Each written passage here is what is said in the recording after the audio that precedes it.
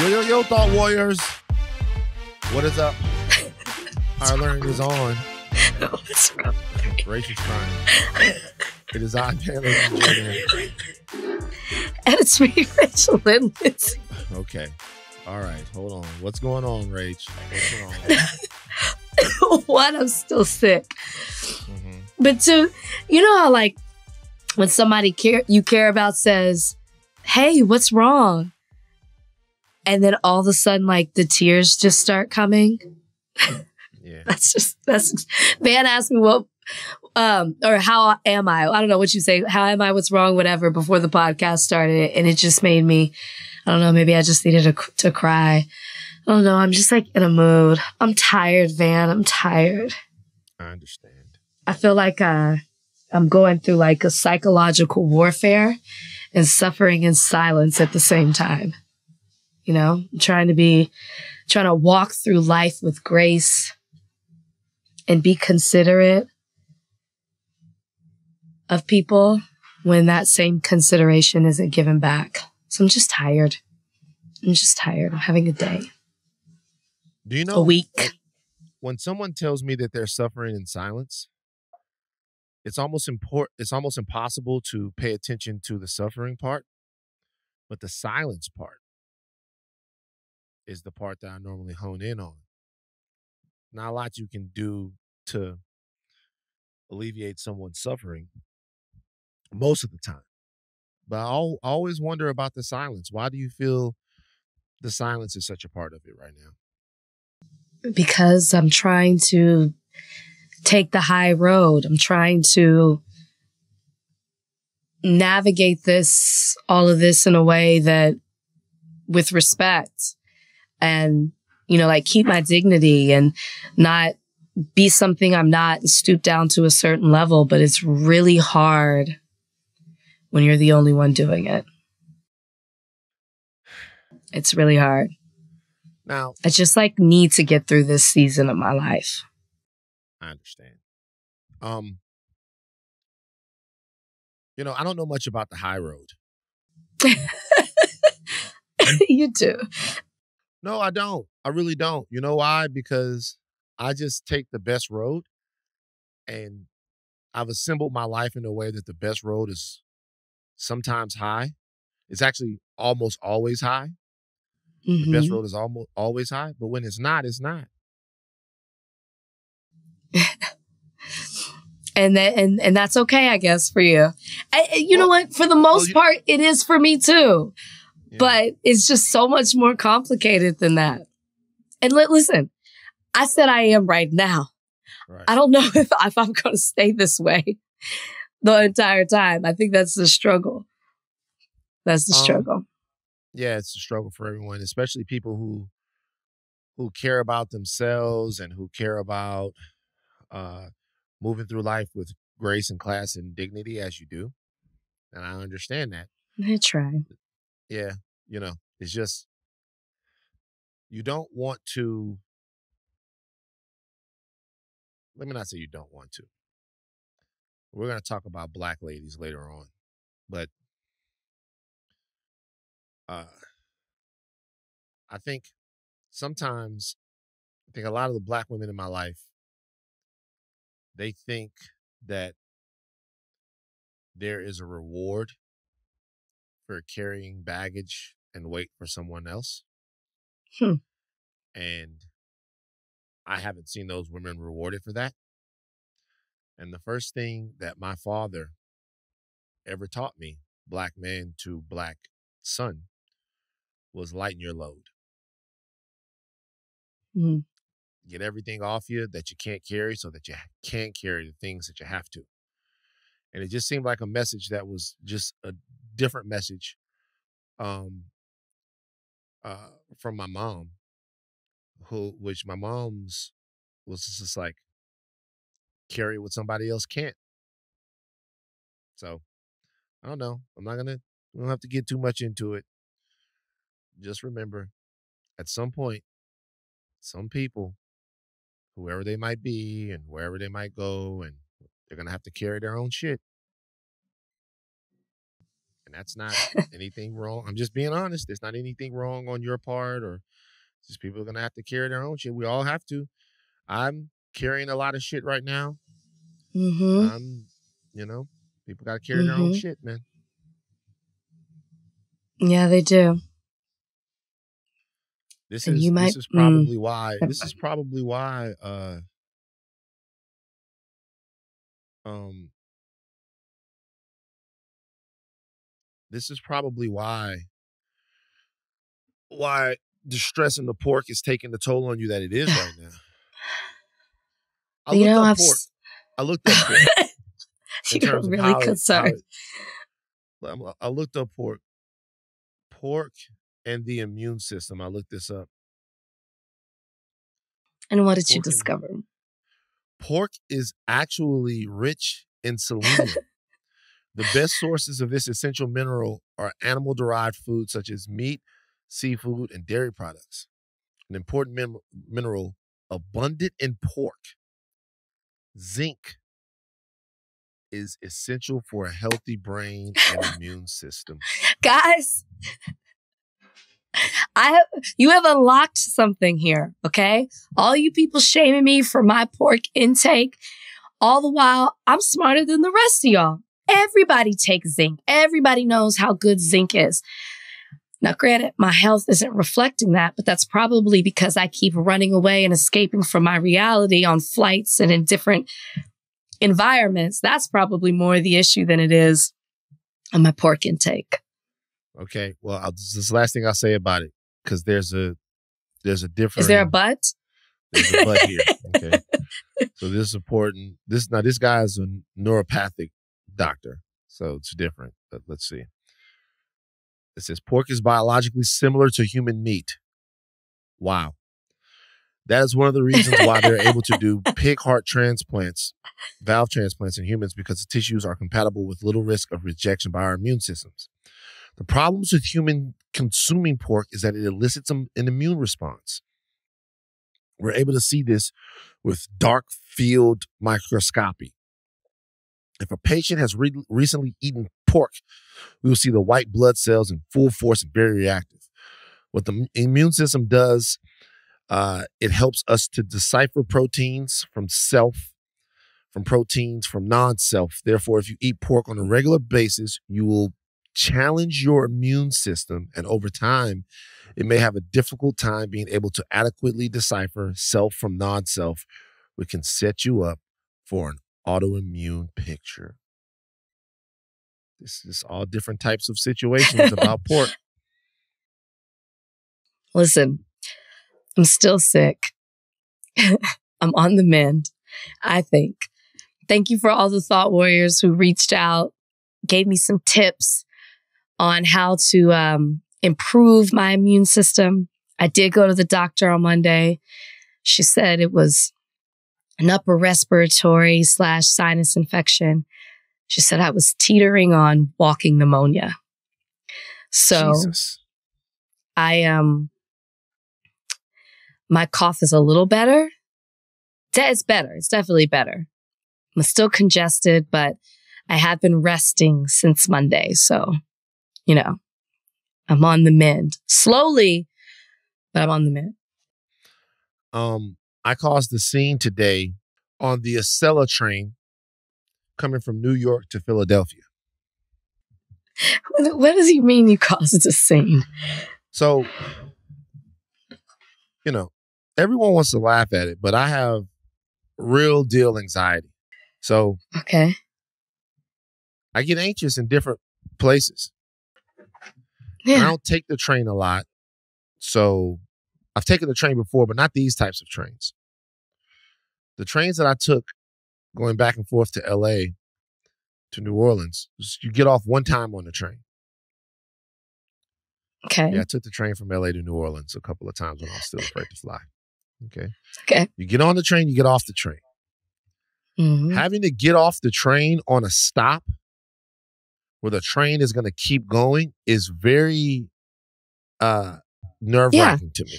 That's true.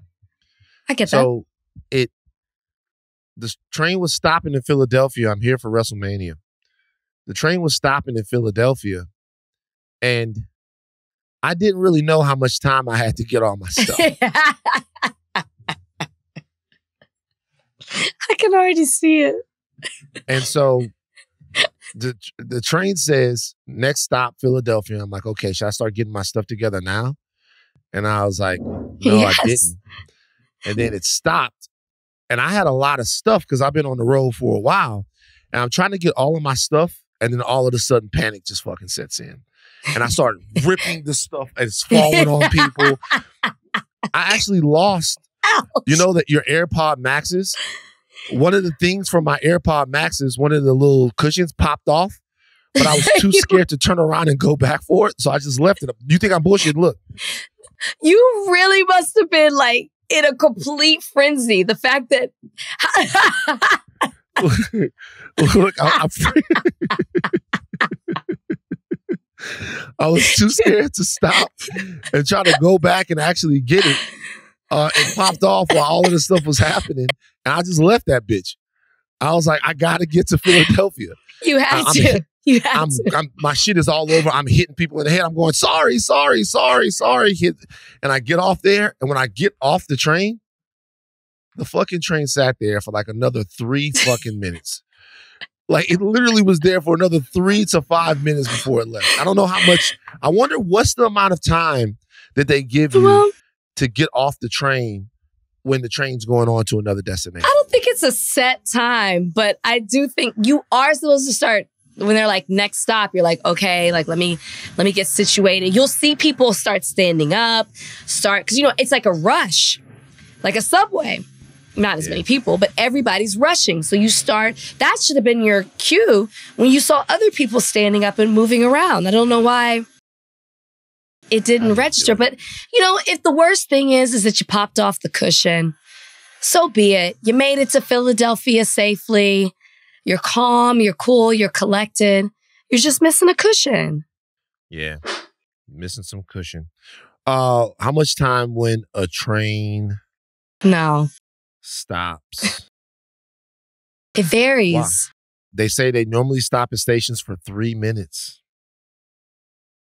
Yeah, but if that many people are trying to come off and on, actually, three minutes is kind of a long time It is. when you think about it. I was freaking out. I was grabbing my like stuff. 30 I felt like I, in. I felt like the train was about to start moving. And I already got on the wrong train going to Philadelphia. So I And where got did you the- end up? So I so I booked the Acela train, the high speed train. Yes, yes, it's great. I've done it. Right. I when I was trying to ask people when I got to the New York train stations, like where do I get on this train? Like whatever, whatever. The guy was like, "Go over here. We'll call you 15 minutes before it's time to train." Because So- it's super quick. So there was a train that was going to Pittsburgh and it stopped in Philadelphia. So I got on that train. And the guy was coming around to check the train tickets and he checked my ticket and he was super duper fucking frustrated. Yeah. He was like, This is not the Acela train. Okay? This is not that train. All right, you got to get off in Newark. I was like, What? He's like, You got to get off. You got to get off in Newark. And I was like, God damn, okay, brother, I'm sorry. He was like, Listen, he was very nice but firm, like a principal or a, a dad, stepdad, more not a real regular dad, a stepdad. Not a stepdad, regular dad, dad who stepped up, whatever. And so okay. he he was like, Your train is late. It's late. And so he was like, You're gonna stand there, you're gonna get off the train with me. I'm gonna take you to somebody, and you're gonna stand where I tell you to stand. And then when your train comes, you're gonna get on that train. I was like, Yes. And he did this like a child. I got off the train. He introduced me to another, I guess, conductor. I don't know what, what you call them, train gentleman. And he was like, This guy got off, got on the wrong train. And they looked at each other like, God damn, another another motherfucker that got on the wrong train. What the hell? And then he was like, he needs the two, the 2155, the Acela to Philly. Can you help him out? And he was like, yes. He was like, this guy's your guy. Goodbye. Got back on the train, train pulled off. The dude brought me over to the thing. He's like, stand here. This is your car. You'll get on the train. You'll get off in Philadelphia. That's in Pennsylvania. I'm like, all right, nigga, this- this- you're doing too much now. So I stood there and I waited for the train. And then I think they inspired a lot of anxiety within me as well that I couldn't miss this chance to get off in Philly. Because then if I miss a chance to get off in Philly, I'm in another town. Then I got to book another. It's just, it, it was a, I was having nightmare scenarios in my head. That's all I'm saying. Okay. In your defense, if you never have done the train and it's specifically that one, it is tricky because there's a new, newer side Mhm. of the station where that is. that you go there? It's like new, it's all fresh. In the Moynihan station in New York, yeah. And um, and like Moynihan. unlike a unlike a plane where you have to wait, you know, for a lot longer, you're waiting forever for the thing to change to tell you the number, and you feel like you have to rush to the number to wait for your train to get on. And if you don't know, no one's nice enough to give you directions, it can be tricky. So, in your defense, I understand that. I'm glad you found your way. I definitely did.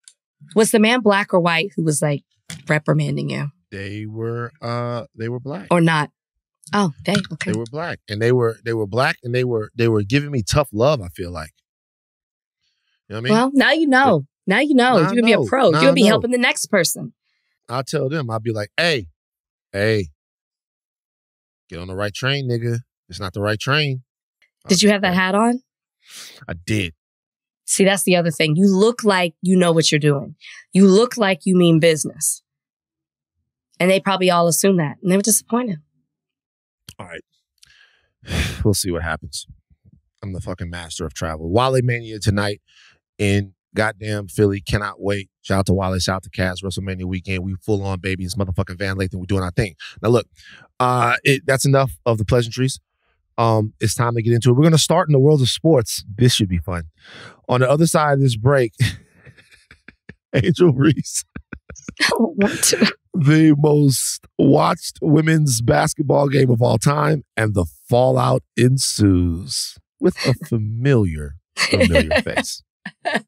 After this break, did you watch Iowa versus LSU? I did. I did watch thoughts? it. It was a fantastic. Okay, holding up the belt. Guess guess he doesn't travel without it. What belt is that again? This is the big gold belt. This is Ric fucking Flair. This is Sting. This is the WCW. This is wrestling. This is what it's all about, Rachel. This right here is about the gold. It's about the strap. It's Hey. about laying it on the line and making sure everybody knows who is the B E S T best. That's what I do. That's what I do when I get on the mic. That's what I do when I get on the court. That's what I do when I get on King Charles with Charles Barkley and Gayle King. That's what I do. That's what we do. That's what higher learning does. That's what you do. All right. Are you done? Save it for Yeah. tonight. You got Okay, tonight. You got tomorrow. When's WrestleMania? Two days from now. You got you got. WrestleMania in two days. Save it. I'm sorry. Apologize. Come back to us. All right. What did I think of the game? The game was no man. No, I was very sick. So in all honesty, I did fall asleep half of the third quarter due to my Mm. sickness and my antibiotics. However, I watched it. That game started off fast, entertaining. I was all in. I was so excited watching it. I felt fully invested, like I either went to Iowa or LSU. I, it was just there was so much excitement and hype around the game. I was all into it. Um, I thought it was amazing. I thought, I mean, I'm not, I don't want to talk about anybody's particular play, but I just thought both teams played well. Um, Iowa got off to the fast start. LSU caught up, and then it was kind of back and forth until it wasn't. Um, but it was a it was a really fun game to watch, and not to knock the game after, but there was such a dip. It was a good game too, but there was such a difference in the that game versus the second game. It just showed how incredible Iowa versus LSU was, and I was almost disappointed that we got it in the Elite Eight because I was like, oh, I wish I would would have loved to have seen this in the Final Four or you know the championship again. championship. Um, the game itself, to me, the importance of the game can't be overstated. hmm It's one of the most important sporting events in history.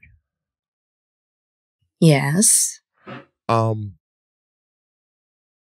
In it- history? in history. One of the most important important sporting events ever. It that game itself exposed so many lies Mm. and commonly held beliefs hmm about athletics, about women's athletics, and about the way we consume things. Um, that it's difficult to overstate the importance. Sure. Uh, Ashley, I want you to send it over to the group te- text about what that game actually outdrew. I think it was more than any NBA game last last last year. so like, like 12.8, 12.9? 12.8, Something like that. 12.9 million people. Million people in a game where nobody was going to dunk, where nobody was going to catch an alley oop. All the things that people say make the men that makes the men's game so much more compelling than the women's game. All the 12.3 12.3. million viewers, according to ESPN. 12.3. It's a list of sporting events that it drew more people than that's the goddamn shit ton of people. So what I'm saying is we've talked even here, even on here about uh and I've talked, to be honest with you. I've talked on here about uh some of the hurdles that women's basketball has um in getting uh praise, coverage, and adulation uh, commiserate with the men's game. Everyone says it's a different game. We care about it differently. All of these things. And look, the games are different in terms of the way they're played. But what sports really is about, what competition really is about,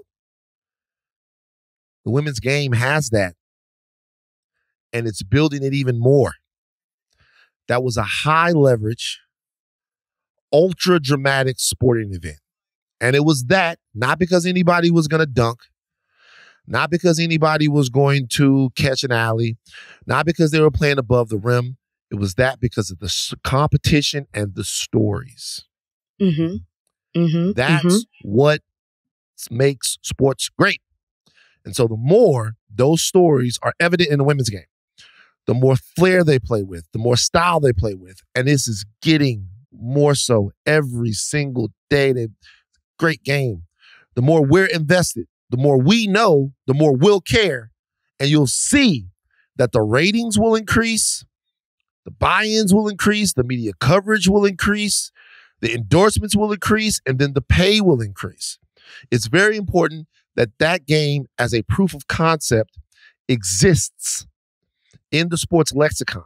I'm not just saying this because it was LSU. I'm saying this because LSU, the team plays with an edge. Caitlin Clark plays with an edge. These ladies are competing. It's do or die for them. And it's always been this way. Always been this way in women's basketball. But the fans could feel it. They could feel it. They were invested. And they will be invested. And it's a it's a huge, gi- gigantic chance. I'm very proud of my Lady Tigers. We were not the same team that we were last year. But to win the championship last year and make a run to the Elite Eight, when the young lady gets on a heater like that, you'd have to play perfectly to beat her. We certainly did not play perfectly. We actually didn't play up to our potential at all. And there was some weird coaching and uh, letting one person cook you like that and not doing anything different the entire game. All of the basketball stuff aside, I think that if you are a fan of women's basketball or sports, period, and you want to see people represented and you want to see um, people uh, take their place on the stage, uh, on the same stage as people who have uh, gotten more resources than them traditionally, I think you have to say, God damn it, that was an amazing night for sports. That was an amazing night for culture.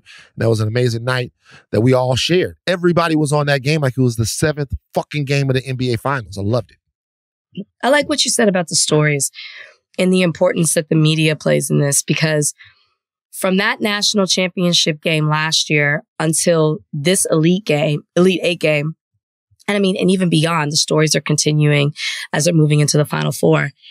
The way the media has covered it and even centered themselves around it. I'll take ESPN, for example, with what they're doing with the, what they're calling the big three, with Elle leading the way and Shanae um, is it Andrea? Hold on, I want to get that right. Andrea, Andrea. Even the way the media is centering themselves around it with the big three, the way Elle's covering it, the attention that they're giving them with Chiney, Andrea, um, the way that's all uh, ESPN's putting it all over their socials, the way those storylines, like I said, started from there, from back then to now, has made people pay attention to it. You couldn't ignore it, right? Even if you said, I don't want to put respect on women's basketball, I don't want to. Are you giving me the thumbs down? I did nothing. That, Van, that why does it always crazy. happen on your screen? I'm sorry because I got the update. I did nothing. I did nothing. I said nothing. I'm not moving. I'm listening to your point, and you- you're making a very salient point. I'm into But it. But you gave me a thumbs down. You gave me I a did. thumbs down. the point. fucking computer. did. anyways. that's misogyny computer. It was a They white. That was a white man's hand. Yeah. Is that Emmanuel Acho? Oh Jesus Christ. Oh, daddy. Um. Here. Oh, she got him. But my point is, is that the media made you pay attention to what was happening in women's basketball. And I think that that shows the importance, the role that they play in all of this. It's not just us talking about it as viewers. If it's on, if it's in front of us, if we're reading these stories, if we're watching it, we are going to be more interested. It's what happens all the time. TV shows, movies, commercials, products. If you give it to us, and you and you tell because it's not them making this up there are very interesting storylines surrounding these very talented players then we're going to want to consume it so i hope to continue to see these media outlets cover women's basketball women's sports in general that aren't getting the attention they they deserve because it's very exciting to watch as we all did all 12.3 million of us on monday I think it's twofold. One, I do think that the media did a better job of packaging this uh, rivalry in this game. But the reason why they were able to do it is because I think that there's as much as an evolution as there's been in the women's game. There has been an incredible evolution in the women's game, which was going to happen. Um, there's also been an evolution in the culture of women's basketball to where I personally think some of the societal norms that are being destroyed off the court are having a positive effect on the women Sure. on the court. i'll agree So I that think uh, none of these things exist without the other. The view of women in society, the agency that women feel in society, the um, the strength that they feel in society, uh, not having to hide who they are, um, being able to uh, be seen, to take what they want, to be assertive, um, and to express themselves as individuals. That exists in this level of basketball player, and it's um, encouraged in this level of basketball player, even in the men's game. To be honest with you, uh, in a way that it wasn't before. So the personalities that we're getting in these these young ladies in college um, has to do with how they feel like they should show up in the world. um Um, yes and no. I, I- yes, I will. Sorry, you weren't finished. no, it's fine. Go ahead. No, I get Well, no, wanna hear it. I, I, I. When you talk about their personalities and how they should show up in the world, I, as a as a kid who grew up playing basketball, I idolized the women when they started in the WNBA. Rebecca Lobo, Lisa Leslie, Sheryl Swoopes, Cynthia Cooper, um, Ruthie Bolton. Like I was all in on these women and they carried themselves the exact same way. They were incredible.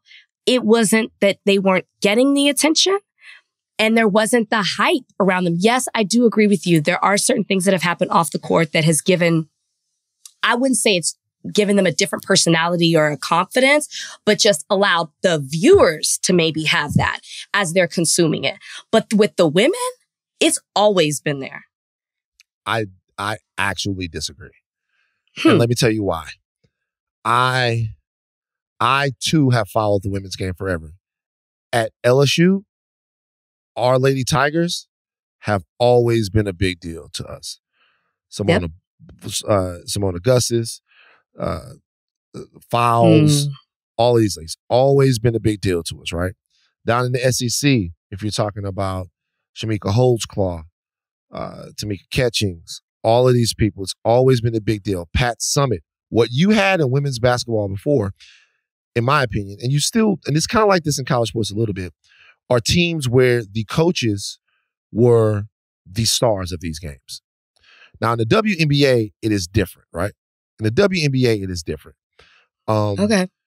the WNBA was started after the uh, ladies, the one of the best women's basketball teams of all time, went and won um, uh, uh, uh, the gold medal. I think it was in '96. They won There's- the gold mean, medal. the- yeah, WNBA started in 96.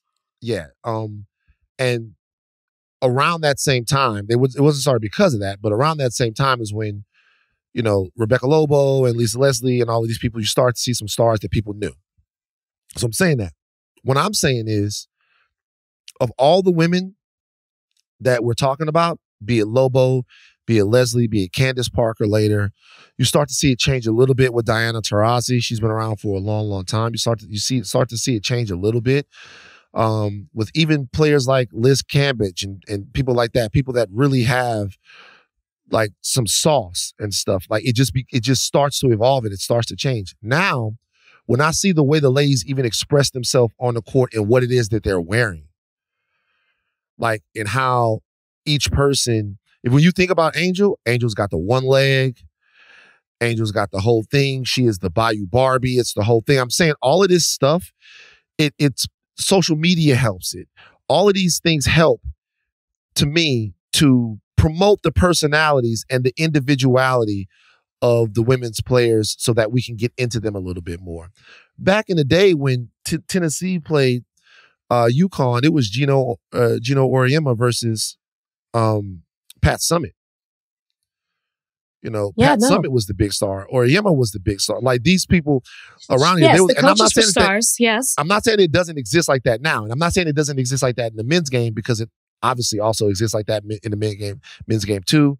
Even in college football, coaches are big, big stars, whatever. But I'm saying the players themselves now in the women's game, um, even the ones that we're not talking about right now, Juju Watkins, players like that, we're invested in them in a different way. Been following Juju since high school. Since Sure. high school. So, and I think a lot about that reflects what's changed in society. I see what you're saying. They've always been saucy. Dawn Staley was a little saucy guard. Boom, boom, hit you with that. Ooh, ah, beep, bop. Even back in the day, they always been saucy. But I think Like defense. the out- Mhm. the outspokenness, um, the style, the point of view. I think to me, what you've seen in this tournament is that the women's game is more compelling because the women are more compelling than the men are. And they did that for themselves. And they made it They definitely did it for themselves. That's that's for sure. That part I'll Um, agree. So Angel Reese uh, announced that she's declaring for the 2024 WNBA draft. Now there were some in Baton Rouge that hoped that she would come back to LSU. I was not one of them. She's won the yeah, national she championship. She's done a lot. Go ahead and take it to the next level. Um, and she said this much. She said, "One national championship. I got SEC player of the year. I've been an All American. My ultimate goal is to be pro and to be one of the greatest basketball players to play ever. I feel like I'm ready. So the WNBA hopefully is going to see um, its magic bird moment with Caitlin Clark and uh, Angel Reese coming into the WNBA and absolutely changing the way we watch and consume that sport. And that'll be a huge, big deal. Now, after the loss to Iowa, speaking about Angel Reese, Angel Reese talked about what her career in college has meant. I don't really get to stand up for myself. I mean, I have great teammates. I have a great support system. I got my hometown. I got my family that stands up for me. I don't really get to speak out on things just because I just try to ignore and I just try to stand strong. Like, I've been through so much. I've seen so much. I've been attacked so many times. Death threats. I've been sexualized. I've been threatened. I've been so many things, and I've stood strong every single time. And I just try to stand strong for my teammates because I don't want them to see me down and like not be there for them. So I just want to always just know like I'm still a human. Like all this has happened since I won the national championship, and I said the other day I haven't had peace since then, and it sucks. And but I still wouldn't change. I wouldn't change anything, and I would still sit here and say like. I'm unapologetically me. I'm gonna always leave that mark and be who I am and stand on that. And hopefully, the little girls that look up to me, and hopefully, I give them some type of inspiration that, you know, hopefully it's not this hard and all the things that come at you, but keep being who you are, keep waking up every day, keep mo- being motivated, staying who you are, staying 10 toes, don't back down, and just be confident. Rate your thoughts. Um, well, she was asked what her career meant.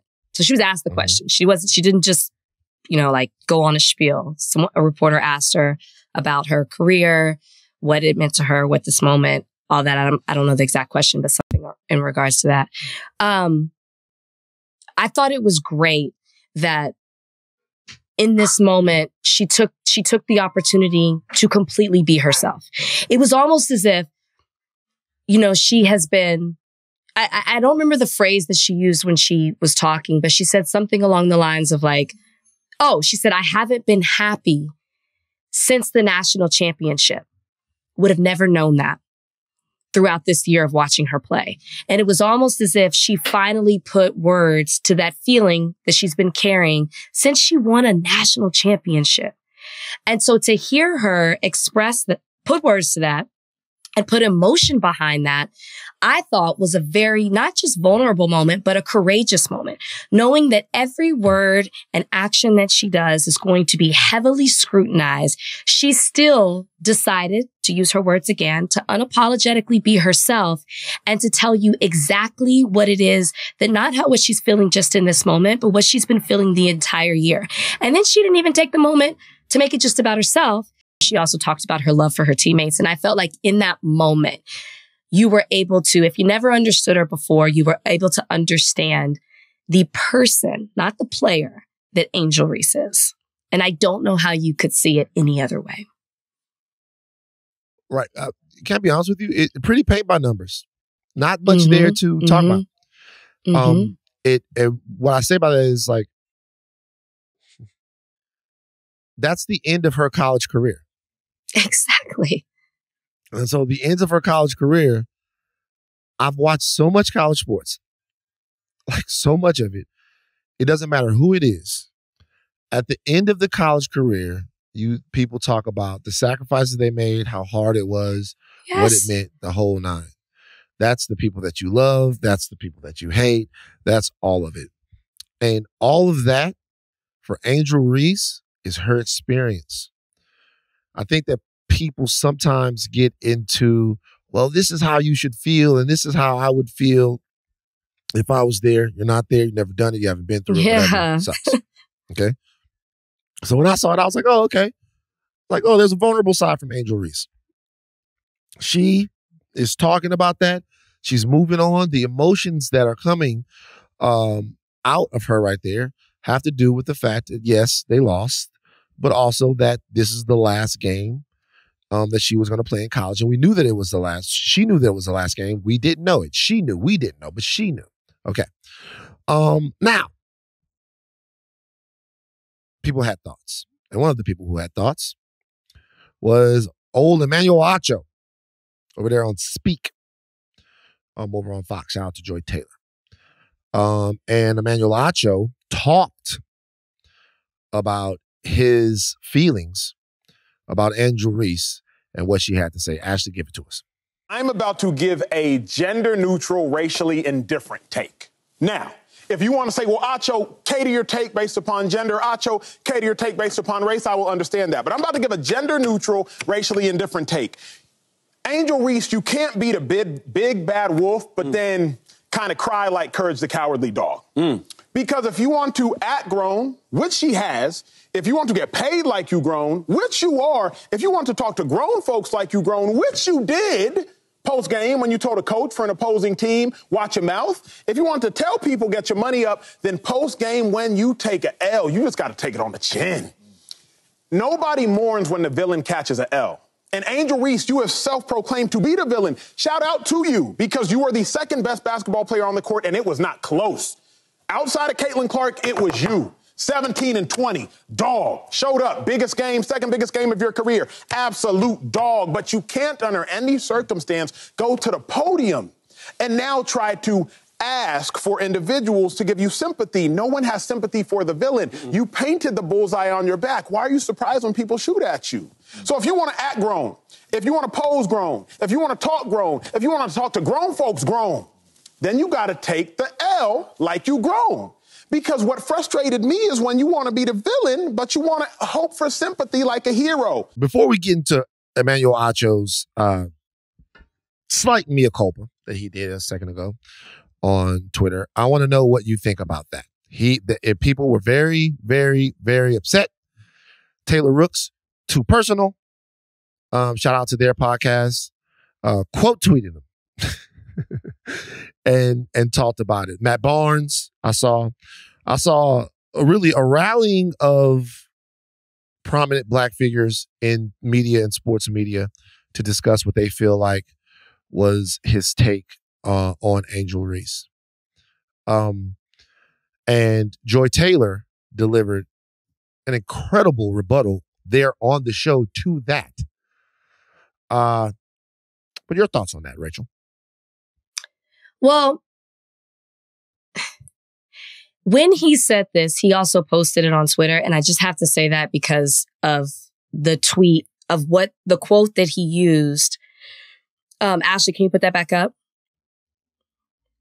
because of what he said when he reposted this video. So he said it, he reposted it, and then he defended his comments on Twitter.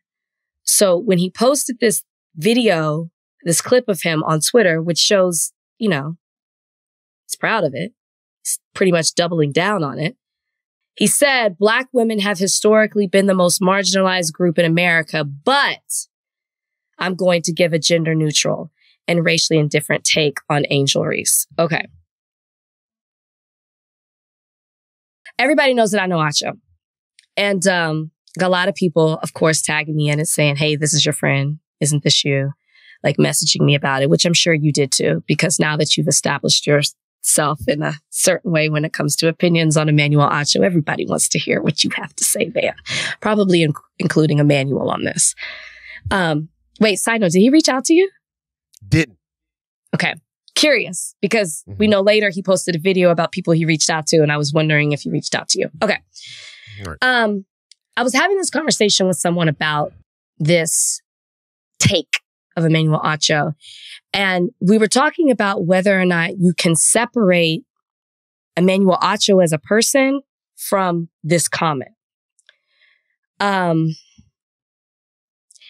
at this point, I don't think that you can.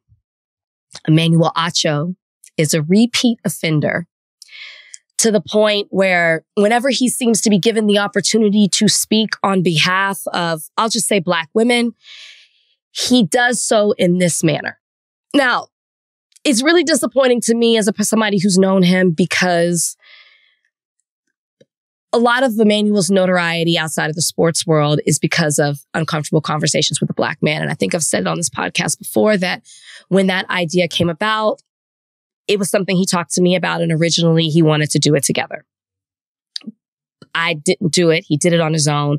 And I say this because I was there when he was brainstorming it and I was there and I heard his intention behind it. And I really thought it was beautiful. Like when he started off his, his first video, why he wanted to do it, you know, what he was observing in the world and why he, and he felt like he could give a response or a take that he hadn't quite seen yet. And I was like, go for it. To see, to go from that in the beginning to where we are now, I'm confused and I'm really trying to understand what's happening. As uncomfortable conversations with a black man has taken off and given him this attention in a way that I don't think he, I know he didn't expect when he started it and had, and an opportunity for him to monetize it in a way that I know he didn't expect for this to happen. There seems to have been this huge shift, in my opinion, in how he talks about black people. And as I said, black women. And I don't know if he is trying to pander to a specific audience or if he's doing this because he wants to seek attention however he can get it or if it's some kind of mixture at both. But at this point, this is who Emmanuel Acho is. And I don't care if he backs it up with a second tweet.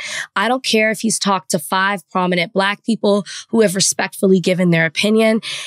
This, you continue to do this despite the, the backlash and, and, and, you know, people telling you how wrong it is because this isn't the first time it happens and yet you still do it. And him coming out and, and, and tweeting it again. And then, like I said, defending himself in the comments when he, even then him going on Twitter and saying that he has defended Angel Reese before and he puts out there these receipts that he's showing all the times he's defended her, which I think were like twice. It, it felt to me like, like a see, I have black friends to comment. Um, he hmm. defends his comments. It does. It def- he defends his comments also by saying that he's this analyst and that it's his job to give an analysis, but his analysis is ineffective because as multiple people have already pointed out, you can't talk about black women and have a gender neutral and racially indifferent take. You don't get to preface your analysis by stating that we're the historically the most black women are historically the most disrespected people in this country or marginalized people in this country and then proceed to disrespect black women in your take. It's like you're proving the original point. You don't get to quote Malcolm X and then show that you have this lack of understanding of how black women have to navigate this world. It really was infuri- infuriating to me to see it. And it was also frustrating to watch it as a black woman. I started off this podcast crying. And one of the things that I said, not over this shit, but one of the things that I said was that I feel like I'm suffering in silence. And to expand on that, I feel like I have to always be strong, which we say is the plight of a black woman.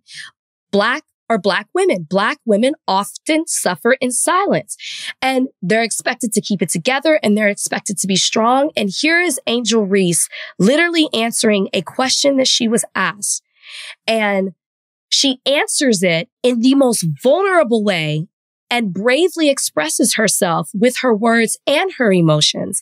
And then you take that away from her and say, uh uh-uh, uh, you are not allowed to do that for a, an, with an analysis that absolutely makes no sense when you have been following Angel Reese's career and you've seen how she has been treated and dragged through the media and you harp on it and then with your take permit other people to do the same thing. It's the equivalent of what people say with Candace Owens. She gives people who want to tear down black people the opportunity to be racist, to be free to say whatever they want to because they say, uh-uh, Candace Owens feels this way. That's exactly what Emmanuel Acho was doing in the sports world with black women. Mm, shit.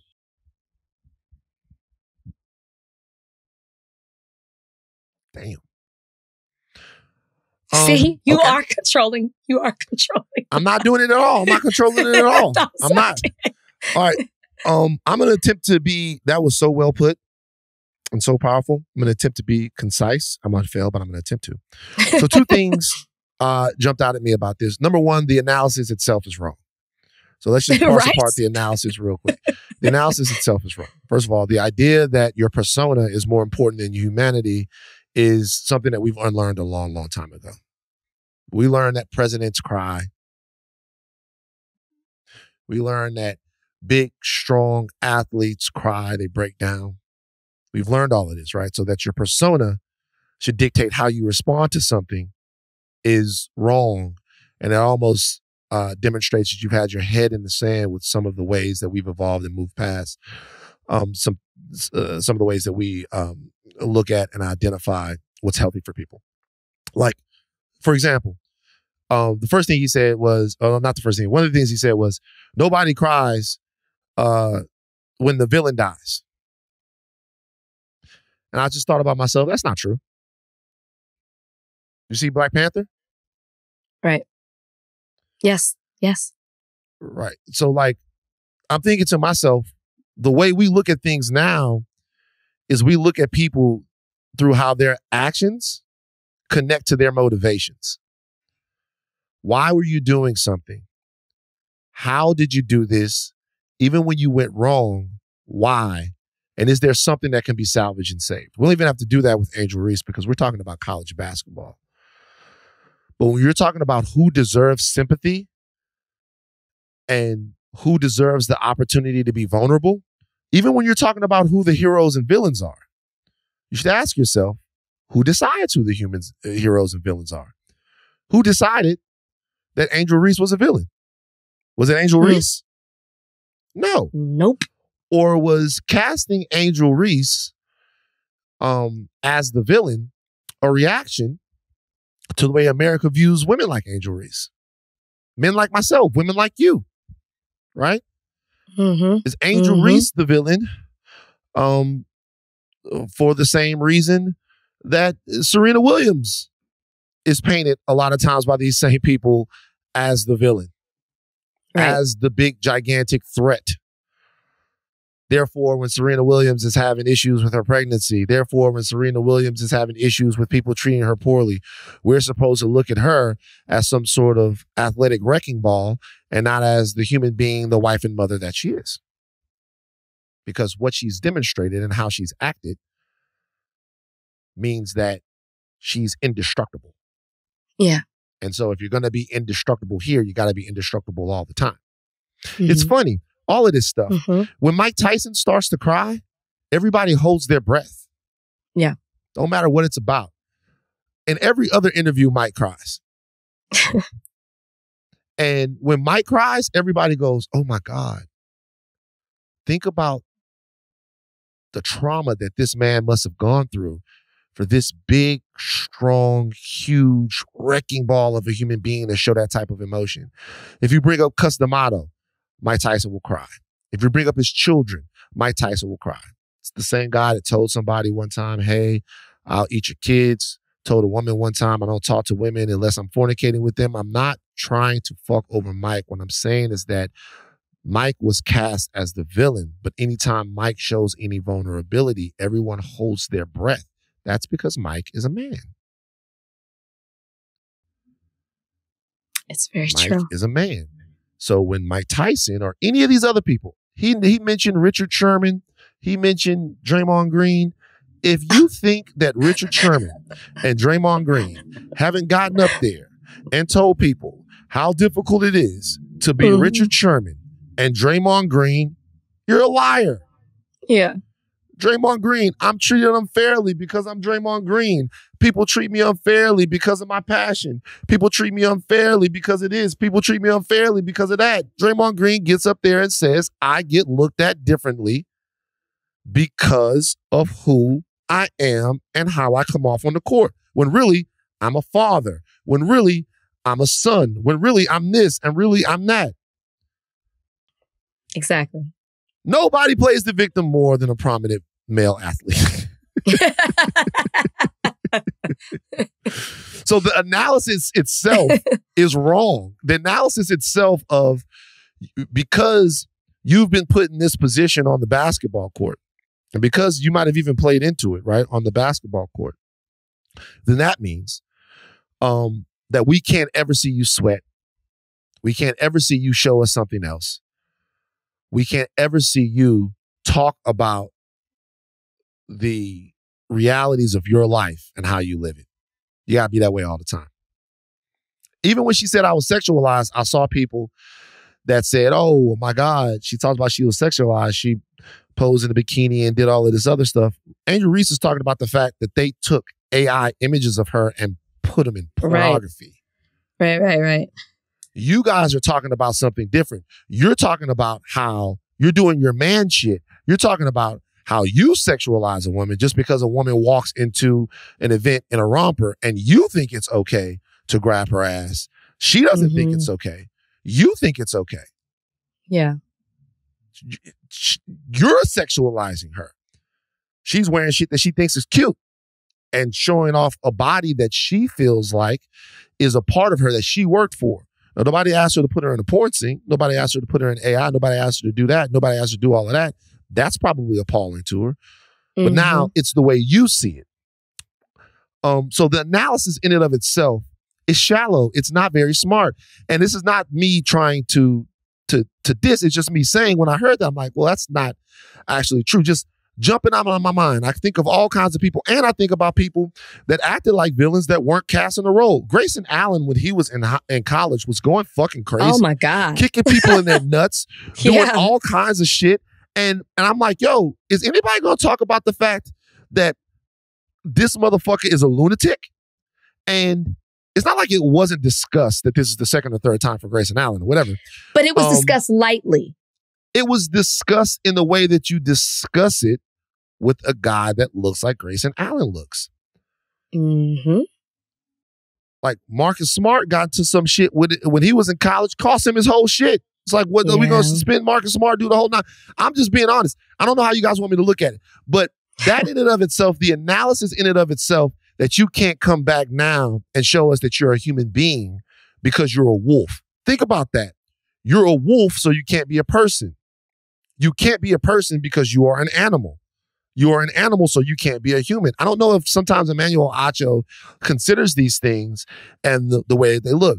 First of all, it's not true. We don't cry for the villain. My dude depends on the villain. and depends on who's deciding who are villains and who are heroes. Yeah. Uh, like Dame Dame Dash, one of the wisest guys around, if you don't feel like the way he talked, Dame Dash is like, shit, to some people, Batman is the villain. That's true. Depends who you are. Depends who you are. Right? So put that to the side. Secondly, here's the thing. And this is what's happened to Emmanuel Acho, and it's very clear it happens to a lot of people. You have to guard against it happening. When the attaboys start to mean more than I love you, brother, you got a problem. I'm just being for real. When the attaboys start to mean more to you than my brother, it's an issue. because you will start to seek them. You will start to make sure that what you said, he only goes viral when he's attacking black people. Come on. Come on. Sounds familiar. So, what I would say is forget about, because I don't think the guy, I don't think he is I do make a distinction between him and some of these other people. I do. I do. I do make a distinction between him and some of the other people that I would say are uh like in sports, in, let's say in sports, there in are sports, worse people. Just, I, there are I'm, worse people in sports that have worse takes. And, when, and, when I say worse, I don't even mean to judge worse or better. What I mean is, I don't think there are some people out there that are being intentionally corrosive and destructive. I think what you're having right here is somebody who is getting high off the condensed milk. And and, and I, I, I just think he's snorting the condensed milk. Look, you know him better than I do, so if I'm well, wrong, I'm wrong. I, but but I, but, but I have not talked to but, him specifically about this. Yeah. I'm just saying he's not stupid. I think we all know that. I don't know if that okay, so he's not he's not stupid, but I don't think like you, I think sometimes when I just listen to the analysis, he's not stupid. He's not stupid because mm-hmm. I don't think I think very few people are actually stupid. But when I listen to the analysis itself, it's not that compelling. I don't think that there is much below the surface. The way that you look at it, I, I'm, I do not see any sort of, and I'm not saying I'm uh, uh, Ta-Nehisi, Ta-Nehisi Coates. But what I'm saying is, I, I, don't see very much there that makes me go, "Wow!" What he, what all he, all he, all he essentially said was, "Don't do all that, then cry." Uh, it's not. I mean, it's not. Is is is not. And that's not. I mean, we're talking. That's not. That's nothing. There's nothing there. Like, there's no actual. Uh, uh, uh we don't dig into that. We don't talk about that. There's nothing to parse apart.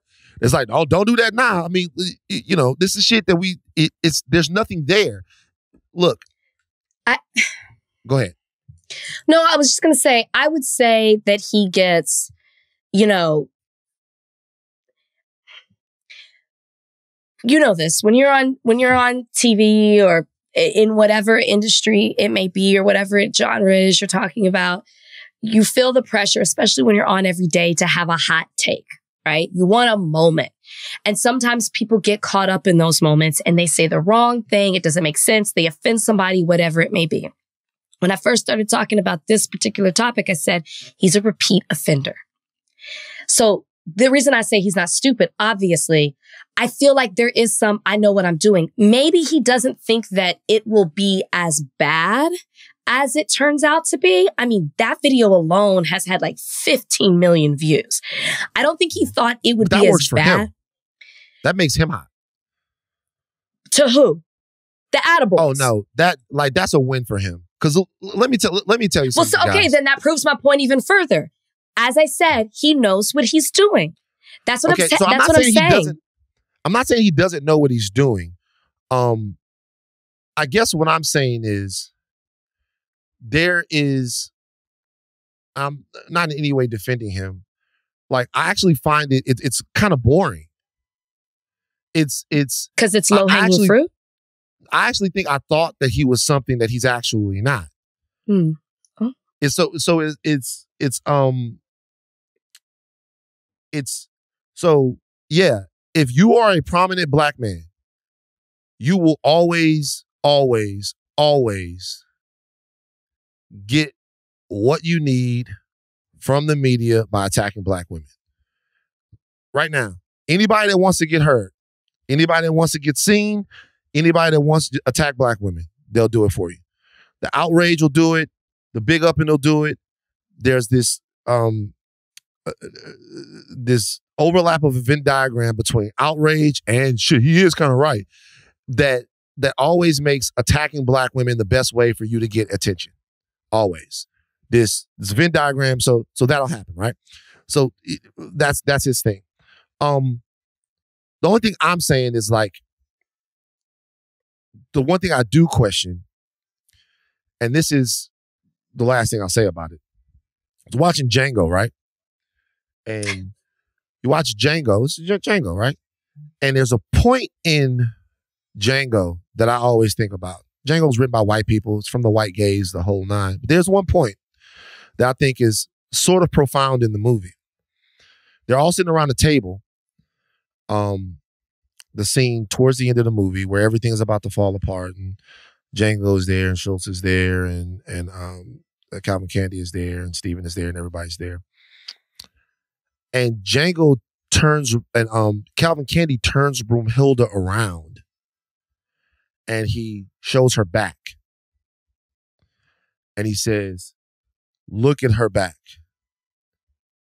You want to see her back? These niggas are tough. These niggers are tough. Hmm. Django, as a black man, has to stand there and watch a white man show his wife, show her scars to the world. He has to watch a white person show her scars to the world. He's powerless in that moment because he has to go along with it and hope that in the end of the day, he'll be strong enough to get what he wants.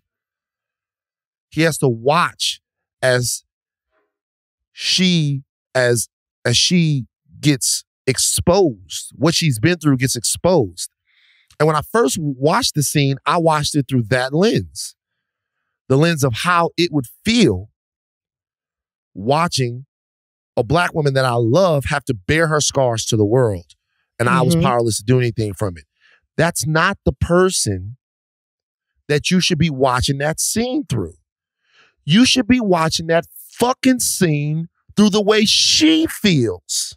Mm-hmm. Mm-hmm.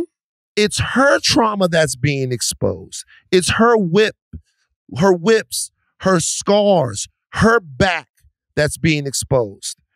As another black man over her left shoulder goes along with it, and a white man delights in it. Mm-hmm. it's her that you should be looking at. It's her that you should be fixated on. It took me like my third time going, damn, that sucks for Django. That sucks for Django. That's going to make Django uh, even more heroic. That's going to make Django even kill more. A batter ass motherfucker. That's going to mean I'm watching it and he's centered. It's her thing. I say all that to say this. Get the fuck out of your own way. Forget about your take. Forget about your view, your flawed and not terribly intellectually exciting view of that entire thing, an emotionally sort of low IQ take on it.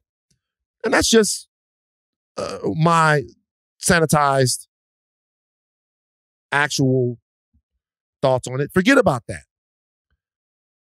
She's showing her back. Right. You're seeing her scars. She's showing her back. What you think about that, nigga?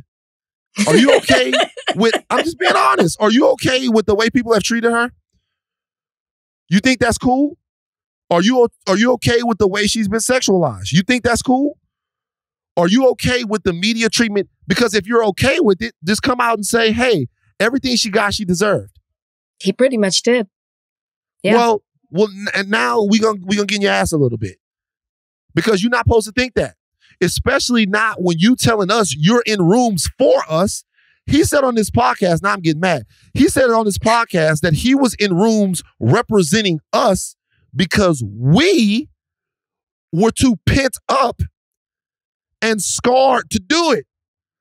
So then you get in a room where you represent us and you caring about an attaboy from motherfuckers in the comments and Matthew McConaughey is whack. Let's move on. That's why he's having different Um, uncomfortable conversations now. Like it's it's it's enough. It's enough.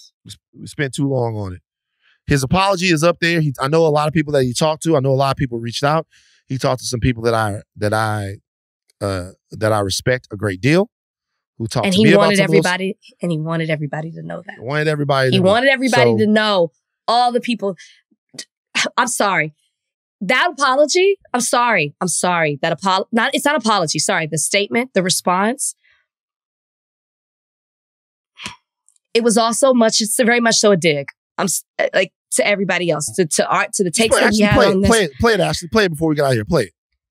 I just want to say a quick thank you um, to everyone who has respectfully uh, reprimanded me and uh, offered brilliant opinions on the Angel Reese conversation. I do not believe there is any one way to think about things, but thank you to the Ryan Clarks, the Essence Atkinses, the Bozoma St. John's, um, the Trellas, the the different individuals who is publicly and privately um, just giving me good wisdom, good feedback, uh, good good discernment. Um, I understand. I understand. I understand. I think life is all about understanding. And so I just want to applaud those publicly, you watching, and those privately who have respectfully, the operative word there being respectfully, who have respectfully reprimanded me. Matt Barnes, incredibly, incredibly, incredibly wise words. Um, so I thank all That's enough. Just, just, just, just, just, cut, cut it off. Cut off. That's fine. Um, it, it, it's um. So yeah, a lot of people talk to him, wish no ill on him, wish no ill on anyone that has a different opinion of me. But just you know, come on, man. Just the fuck, stop. just stop. No, no, just stop. Yeah, just stop. Nobody's wishing any ill on you. Just stop. Stop speak. d- Don't do it. Don't do it anymore. That's it. it'll ha- it'll happen again. All right. Um, we have to talk about what happened uh with the World Central Kitchen. You guys are not aware of this. Um, the World Central Kitchen is an organization that was founded by Jose Andres. He's a very popular chef, very famous chef, and um, feeds people in humani- humanitarian crises all over the world. Um, and they were doing work in Gaza. Um, some of them were killed. Seven aid workers were killed during an IDF attack in central Gaza Monday night. They were traveling in a three vehicle caravan that was branded with their logo on it. On the top. Uh, Jose Andres says that the aid workers were systemically targeted car by car. He says the following This was not a bad luck situation where, oops, we dropped the bomb in the wrong place, Andre said. This was over 1.5, 1.8 kilometers with a very defined humanitarian convoy that had signs in the top and the roof, very colorful logo that we are obviously very proud of. It's very clear who we are and what we do. I've watched a little bit from the reactions from some of the brass over there in Israel. And even the Israeli brass admit uh, that what WCK does, um, that they are some of the good guys, as they would say, because they think that some of the people that are offering aid are bad guys. They think that UNRWA is bad guys. They think that some of the other people are bad guys. They think they're Hamas affiliated, all that stuff. But none of those claims have been lobbied against this particular group. And they were murdered anyway. Uh, Prime Minister Benjamin Netanyahu says that the airstrikes were unintentional and that Israel is thoroughly investigating the incident. President Biden said in a statement Tuesday that he was outraged and heartbroken by the deaths of the aid workers and said that he had spoken with Andres over the phone to deliver his condolences. That did not stop us from shipping more shit over there. Today? Which we have continued to do despite rebukes, both Wait. private and increasingly public. Wait, they've shipped since this strike? Or are you talking about before?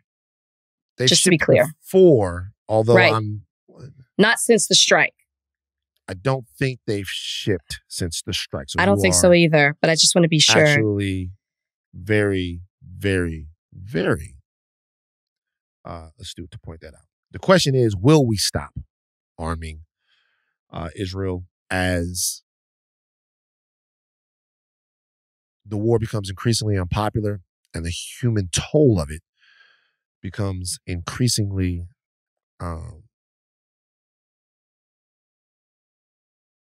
disgusting uh, to Americans all over the world, people all over the world, and Americans here. Let me tell you why what you hear in my voice real quick. Um, this is disgusting. I, I, I encourage everyone to uh, to find yourself. I've been criticized. I'm not gonna bring racial into it. I've been criticized on the podcast for a lot of the ways I've talked about what's going on in Gaza, and I think the criticisms are warranted. Uh, I'm going to be completely honest. The situation is so fraught. And the situation is so important to so many people that you do your best to try to um, understand the history, understand the uh, the contemporary fear, understand everybody's opinions, their parents' opinions, their grandparents' opinions, and why people feel the way that they do.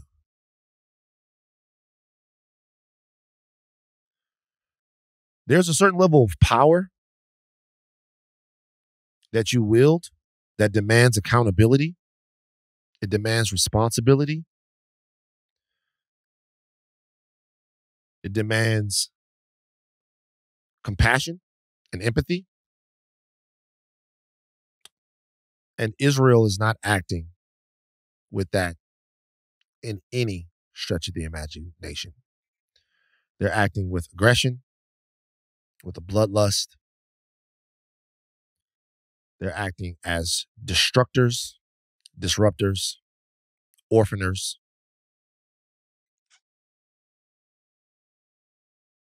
Um, maimers, murderers, and killers.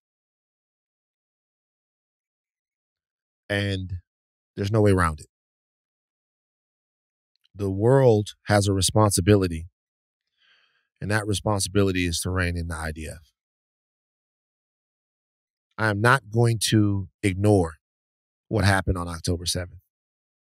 My humanity won't allow me to. My humanity won't allow me, no matter how much I read, no matter how much I know, my humanity won't allow me to um look at things that happened to innocent non-combatants as they had it coming. But my intellectual view of the world tells me that innocence is not a term that gets used in a vacuum. Right. That a 14 year old black kid isn't as innocent as a 14 year old white kid. That a 35 year old black kid, black man, isn't as innocent as a 35 year old white man. That society decides what's innocent. Society, society decides what's collateral damage.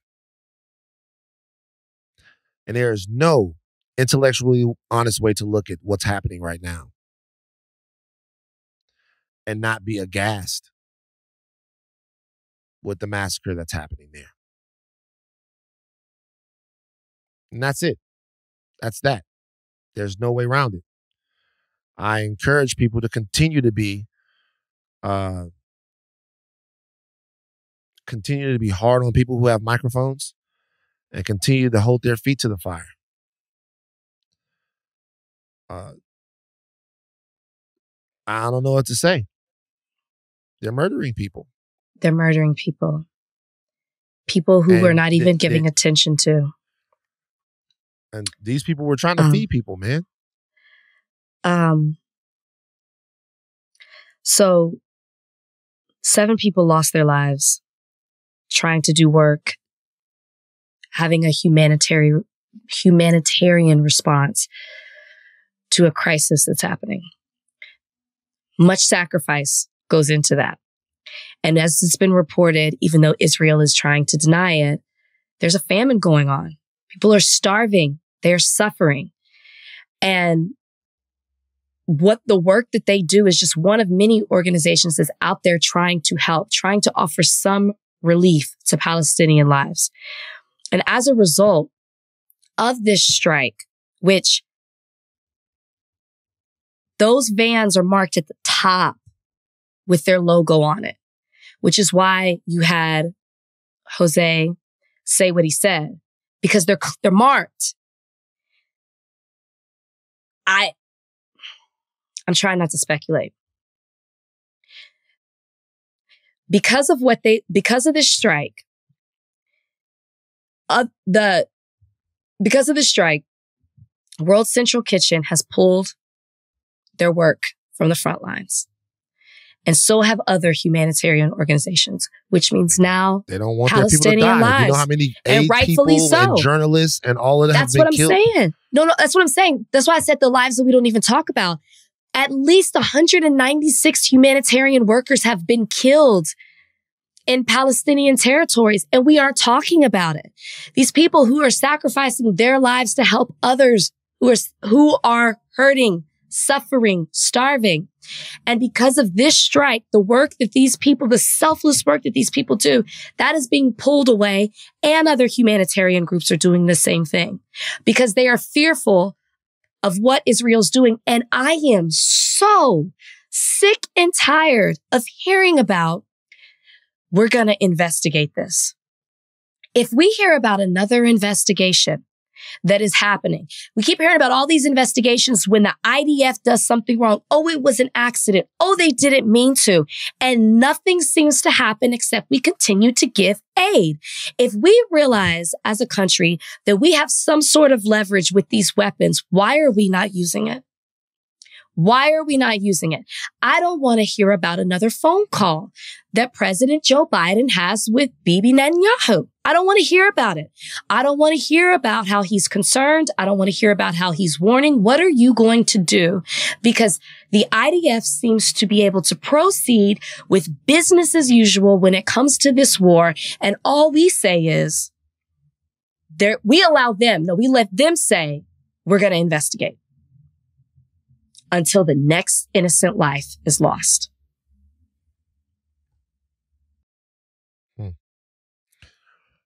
I actually just put something in the chat.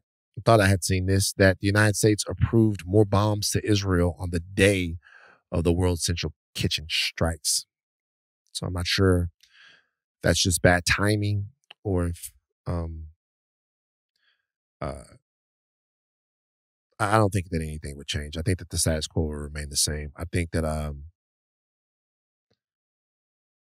I just want everyone who who cares and who uh I just want everyone to consider the moment, and I'll do that too. I'm reading as much as I can. I'm as deep into it as I can be. I'm trying my best to hold space for everything and everyone. I swear to God, I swear to my dad, I am. Yeah. I, I, I, I swear I am. I'm I'm trying my best to hold space for everyone. You guys, I hear you guys. I hear everyone. I hear it. It's just wrong. It's just wrong, man. It's r- it's just wrong. It's too much. It's ambiguous. It's like we'll stop killing when we say. We'll know when to stop killing. It's like every life means something, and we hate when one ends up. pew. And we're not even talking about what's left.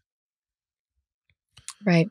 Upwards of 30,000 dead. We talked about that, but we're not talking about the infrastructure, famine, like you discussed.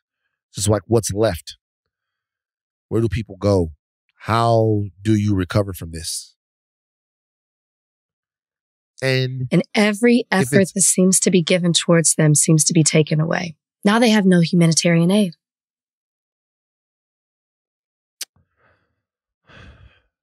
Um, all right. Well, um, we might have to recommit ourselves to this issue. And I'm giving the audience my word that in the next two weeks, we'll bring on, uh, not even the next two weeks, next week, next fucking show, as if there's time to waste.